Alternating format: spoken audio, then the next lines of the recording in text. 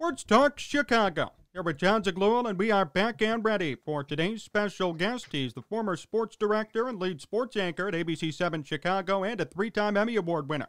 Please welcome Mark Giangreco to the program. Mark, it's great to have you on. How are you? Jon, thank you very much. I'm doing well, moving on and having a good time, and I really appreciate you uh, making time for me on your show here. What have you been up to?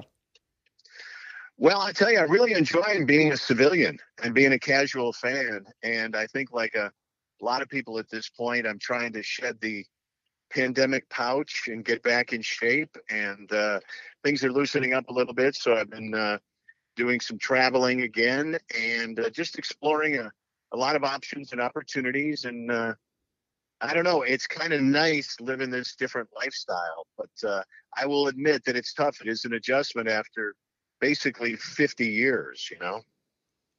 How bizarre is it to not be at work or to not have that schedule? Yeah, it's uh, it's crazy, you know, in, in, a physical sense. You know, my sleeping patterns are different, and uh, again, you know, going to bed late, working late, stuff like that. Um, it's a challenge now to get up early. You got to go to bed early because I want to make sure I get to the old country buffet by four o'clock, you know. So, but I'm sure things will settle in, you know. When's the last time do you remember being in this position? Never. I've never been fired. I've never been transferred. I've never been demoted. Um, this is the first time uh, that I've left a job when it wasn't on my terms or my timetable. So, um, I have to say it was a punch in the face. I mean, obviously, um, didn't see it coming, but uh, you know what? I'm moving on. I, I really am. I, am really glad that uh, I didn't. I don't know. This is a weird thing to say, but I was always embarrassed by accolades and tributes and things like that. And I would always joke that, gee, I got a year and a half left on my deal, and I kind of dreading having a big going away party. I just kind of want to slip out. Well, I got my wish. not, not on not on my terms, as I said, but I have to tell you, you find out who your true friends are, both in and outside the business, when something like this happens. And the absolute tidal wave avalanche of public support on social media, coupled with the local and national backing of virtually everyone I've ever worked with or known or competed against in the business, has been really humbling and overwhelming. It's just been, it's just really been crazy and so much appreciated. Would that have been your last deal, do you think, at ABC?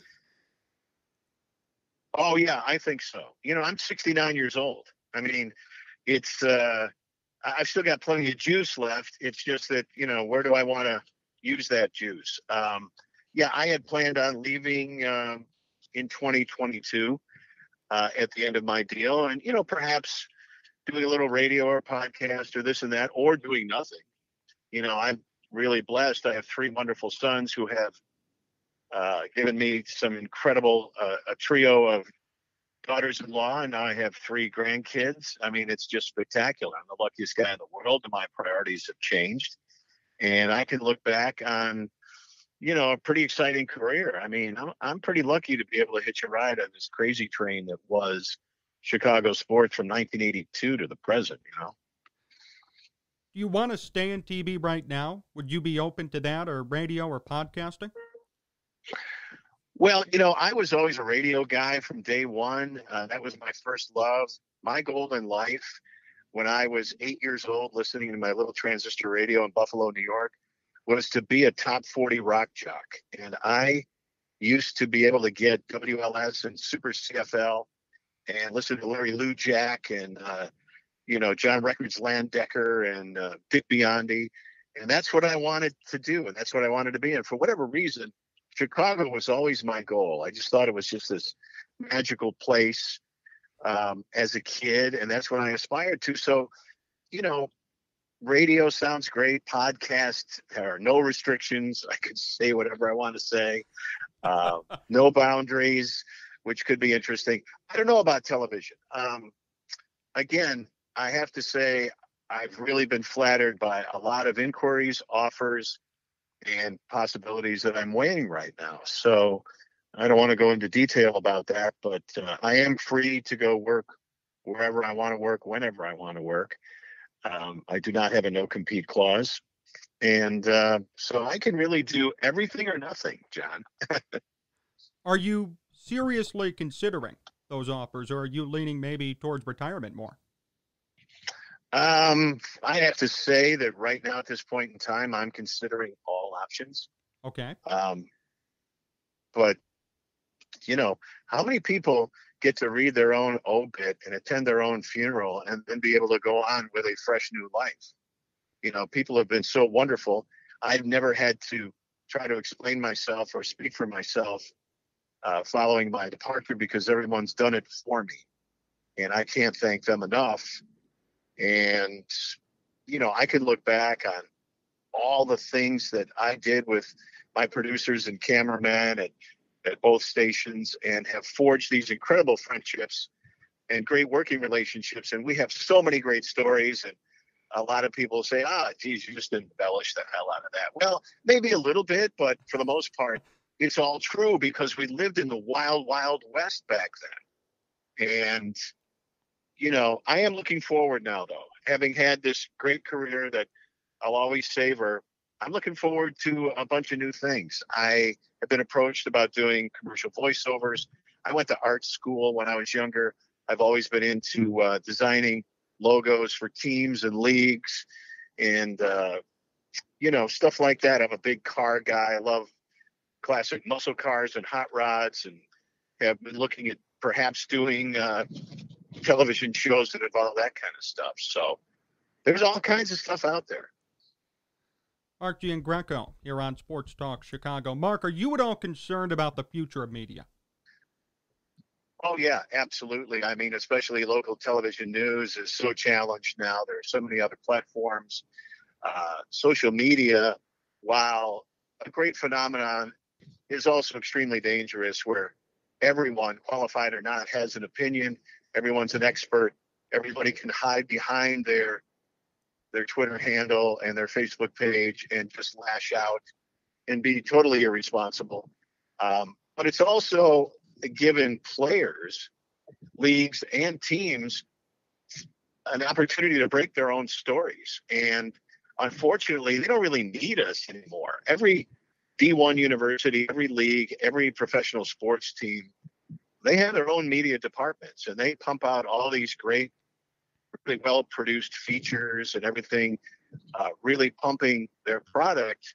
But of course, if there's any kind of controversy attached to that franchise, they're never going to deal with it. And I don't foresee uh, anybody ever being back in a locker room again. I think the pandemic just accelerated the inevitable where sports reporters will never be in a locker room again. It'll always be a sterilized, sanitized, homogenized Zoom interview or news conference in a press room. Um, you know, so we had so much access back, especially in the 80s and 90s. And then in the mid 2000s, it started to become very restrictive. And I think uh, everyone's used the excuse of the pandemic to set the tone for the future. And I and I don't think it's healthy. Forget about sports because to me, sports was just all about fun and entertainment. And while we did have to deal with some serious issues from time to time, more so now than in the past, um, I just think that news is in jeopardy. Serious news. I mean, we are the news source we choose, whether it's CNN, Fox, MSNBC, whatever right wing, left wing. It's all attached with opinion and propaganda and really subversive stuff. And you can't get an objective newscast anywhere these days, it seems. And so forget about sports. News is in jeopardy in general because there are so many subversive forces out there uh, sabotaging us, you know, infecting our brains with all this subliminal stuff via social media. Is freedom of speech a problem? Yeah, definitely. Absolutely, it's a problem. Hey, look, I consider myself a liberal Democrat, and uh, many people say since you left, maybe you ought to adjust your position to be a moderate. But I, uh, I have to say that the pendulum has to swing too far. There has to be an overcorrection. and an overreaction to get to where we need to be as a society. But I think in the process of trying to make things right, um, freedom of speech is being retarded a bit. Uh, but I think we have to deal with each case individually. Sure. And I, I don't think we can make blanket blanket statements. I just think, uh, you know, we should always have our freedom of speech, but it can't be abused to where it, it, it's hurtful and evil and attack filled. You know, how do you regulate that? I, I really don't know. I don't know. But we're getting pretty deep here, man. How difficult does that make your job? Well, obviously, it, it made it very difficult. Um, you know, again, radio, a podcast, uh, things like that. You have a lot more freedom. You have a lot more time, just basic time to develop a thought, to listen to someone else's position, to take calls, to interact with viewers and listeners. Uh, you're doing a three and a half minute sportscast, which over the years has become a three minute sportscast, which is now down to two and a half minutes in many cases. It's tough to get out of that box and really do something creative and expand a thought. But my challenge always was no matter how little time I got in a newscast that's now being jammed with uh, with video and stories, uh, and sports has always been pushed to the back. And I get it. I, I understand. I always challenge myself to still get nine or 10 pieces of video in a two and a half or three minute sportscast. I love that. I love that challenge of making a rapid fire delivery and trying to be creative. And I think I learned how to write first and foremost in high school, taught by the Jesuits, which is what they were known for. And then again, I learned how to write in radio when I was doing news, where it was a quick headline service on a top 40 rock station. So you had to be able to tell a story in one sentence. And that's a challenge. And I think I brought that to TV sports where you can just cram it full of information and video and graphics and try to be funny and creative, no matter how little time you had. Are you the last of your generation?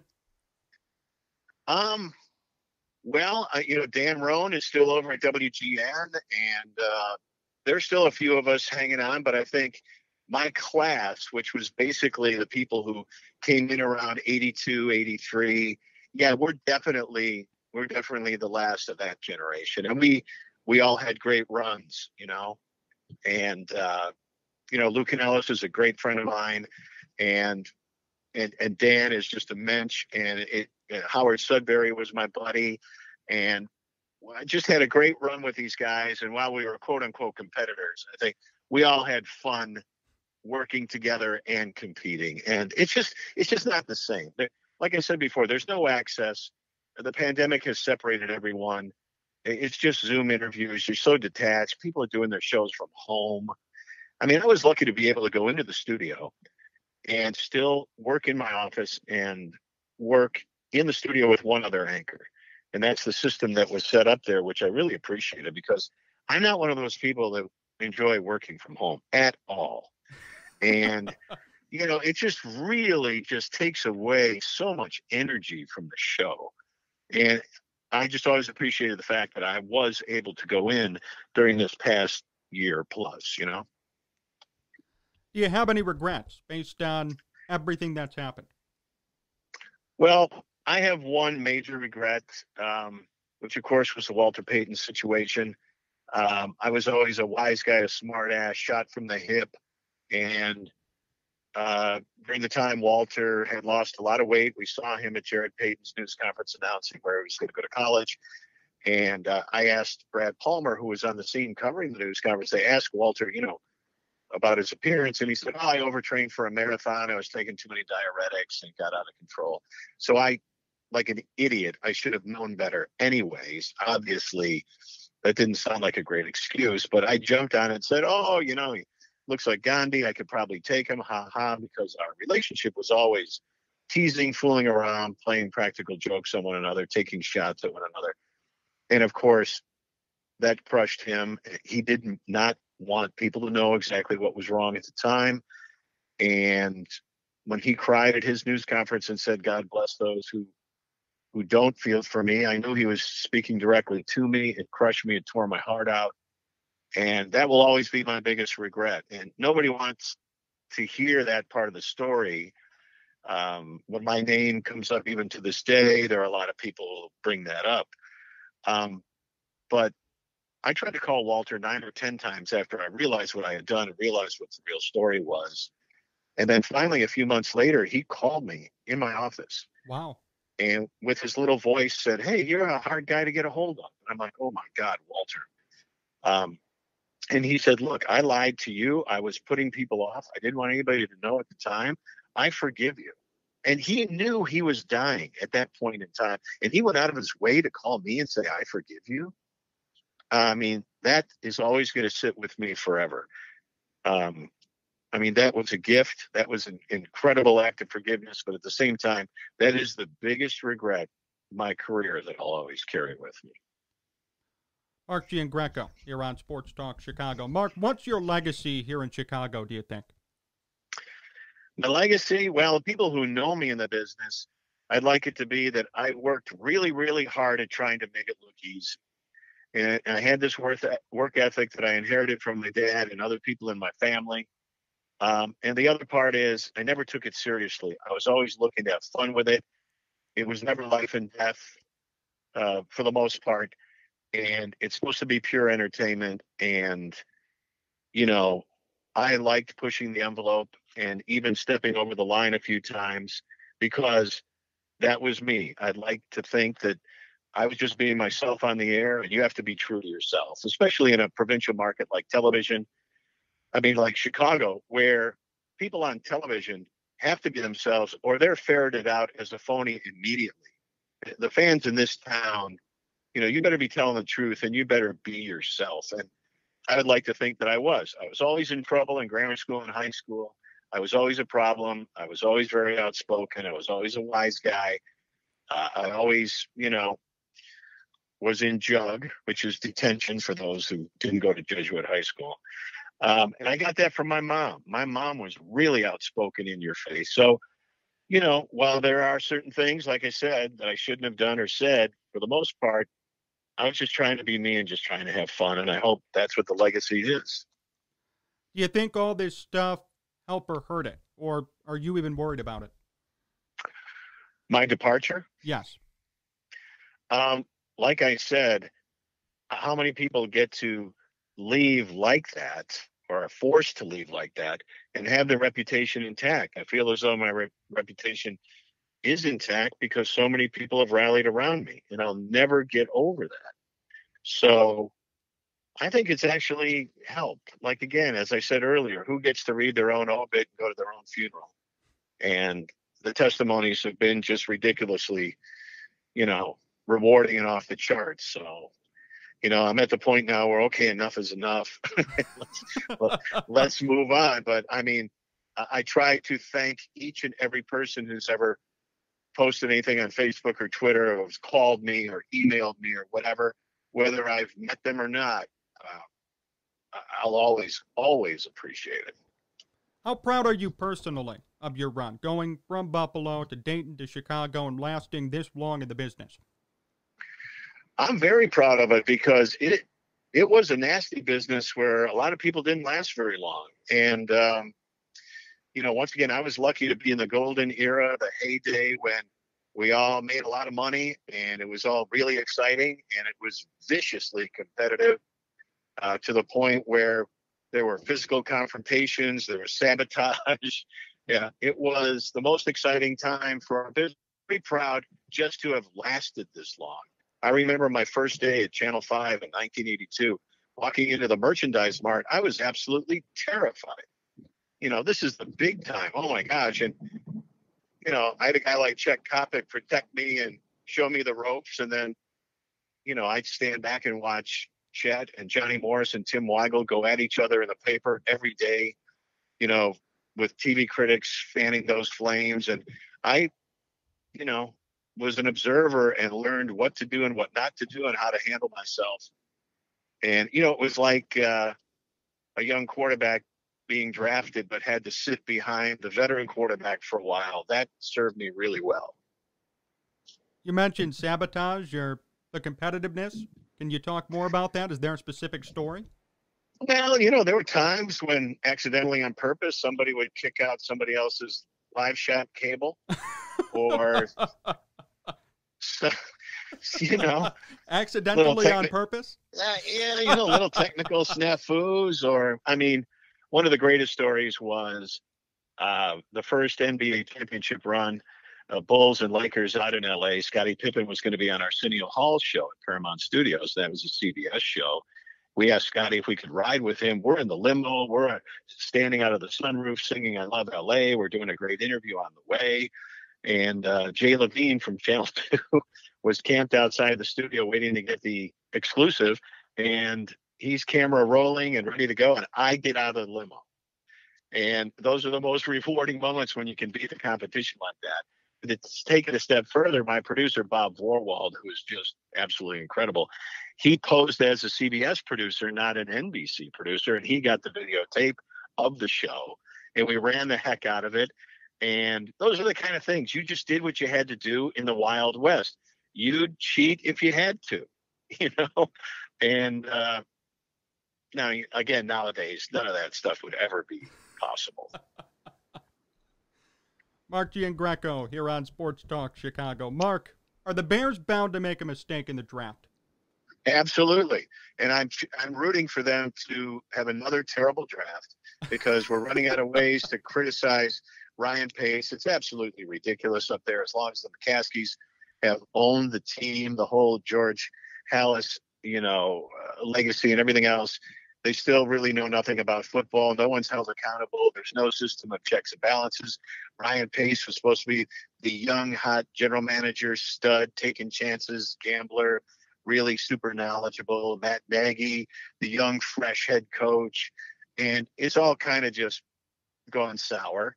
And it's it's pretty obvious they don't know what they're doing. And I've always maintained that most NFL teams, with all the TV money and everything else, we're so addicted to that sport and that league it's part of our culture. They don't have to win. They just need to keep making money. And we're all addicts, and everybody's going to buy season tickets, and everybody's still going to watch, no matter how bad they are. So um, I am convinced that they truly are going to do everything they can to really take a chance and try to make a huge splash and try to trade up and give away the farm. But at the end of the day, which is tomorrow night. Finally, we've been waiting forever. Uh, it's not going to happen, and they're going to be stuck, and they're going to draft a cornerback or a defensive end you never heard of, and that's going to be it. Um, the whole Russell Wilson thing, you know, they made a huge push for that. Uh, they may try to revive that, but you know, once you get past number three in the draft, that's going to set the tone for the rest of the picks, and you know, we'll see what happens there, but I have no confidence that they're going to get a diamond in the rough. I have no confidence that they're going to get a quarterback. I have no confidence in any of their football moves at all. It's it's an absolute joke. And I got to tell you, it's hard to watch nine innings of baseball. Uh, I can't watch the Bulls. Uh, I watch the Hawks because I'm a diehard hockey fan. But you know, these are tough times for Chicago sports fans because nobody's going anywhere except perhaps the White Sox. And what's unfortunate there is only half the city cares, which has always bothered me. So I kind of miss not being in the mix because it's easy to do a good sportscast if there's a lot of stuff happening. But I always love the challenge of doing a really great sportscast when nothing is happening. and it's the same mundane stuff every night. Cub highlight, Sox highlight, Bulls highlight, Hawks highlight. And then I always tried to find something funny at the end, a kicker or a closer to save the show. But if we could come up with some funny graphics and play with the video and you know use the best sound bites and, and try to have fun with that uh, my producers mike johnson and larry snyder we would always say hey that was a good nothing show if we liked that a good nothing show is better than wow we're packed with too much good stuff tonight you know, having nothing and making something out of it was always better than having too much stuff. What's the worst year that you remember in covering Chicago sports? The most depressing year that you had to cover on the news? Well, I would say this past year. But uh, thinking back, there were some really lean years with the Hawks before Rocky Wirtz took over and John McDonough and Jay Blunk and brought it into the 21st century, even the 20th century. Um, you know, everybody knows the, the, the Cubs legacy. And uh, once again, I, you know, I was fortunate to be part of all these teams breaking the trend, you know? So there were many, many years where it was very lean, but it's always more fun to rip teams and players than to be a rah rah homer. So when everybody was bad, I thought it was much more fun when everybody was bad. You know, because as fans and sportscasters and sports writers and everything else, we have all the answers, you know. None of us ever played at that high level, and none of, but we had all the answers. We could we could coach any team, and we could straighten out any player. So you know, I always I always enjoyed that part of it more so than being a rah rah homer and just blindly following a team no matter what. You got to call these people out. You got to call organizations out. You have to keep everybody honest. And again, back to worrying about the news business in general, you do have to have objective third party insight. You can't allow leagues, franchises, players, and so forth to write their own stories and to push their own agenda. They have to be called out if if something is wrong or if they're not performing. Have you ever been called out by a team? Have you ever been told, "Stop criticizing us. This is too much"? Oh yeah, many times. And I remember the one time when one of his many Sunday night appearances uh, with Johnny Morris on Channel Two, Mike Ditka, who obviously had celebrated a victory too much or drowned his sorrows in a loss a little too much. I remember one night, you know, Johnny starts out saying, "Well, Mike, tough loss today," and he just went off going. Before we get to the game, I just want to say one thing. I'm never going to talk to that Mark Giangreco again. He's a jerk. He's an idiot. And and Johnny's like, okay, okay, Mike, all right, Mike. No, we don't want you to be talking about the competition. And he just went off on me. And yeah, there were a lot of guys that had no interest in talking to me at all. There's a whole litany of people, but I, I like I, Jerry Reinsdorf was not a big fan. Um, you know, I think I rubbed Michael Jordan the wrong way a few times, but I'd like to think that I had a pretty good relationship with him. Um, you know, but yeah, I mean, a lot of people just thought of me as this guy's a wise guy just trying to make a name for himself. But no, I was just trying to have fun. And a lot of people have thinner skin than others, you know?